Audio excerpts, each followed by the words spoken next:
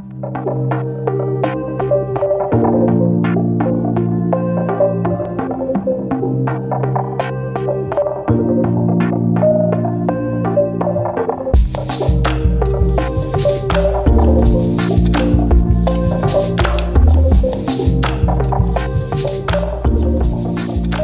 very excited to introduce you to Philip and Rodney.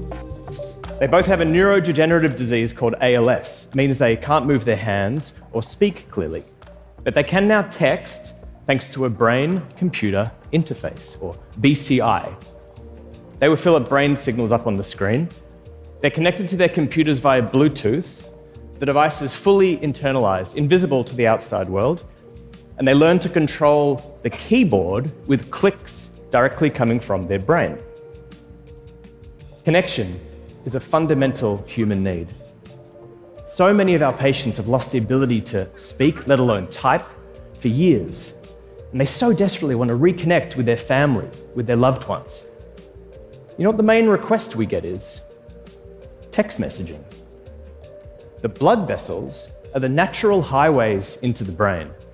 These are hollow tubes that connect every corner of the brain. The largest vein at the top there is right next to the motor cortex, the exact part of the brain that we want to connect to to restore control to the outside world.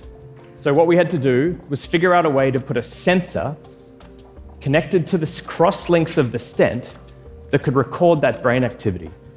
To do that, we had to do a complete overhaul of stent manufacturing. This is the end result. I think it's very beautiful. Then, connect it to a cable which brings the information out of the brain and do it all in a way that it can be delivered in the cath lab.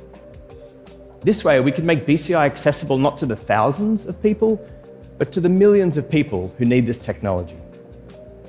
Once it's in place, it's connected to this tiny antenna that sits under the skin in the chest.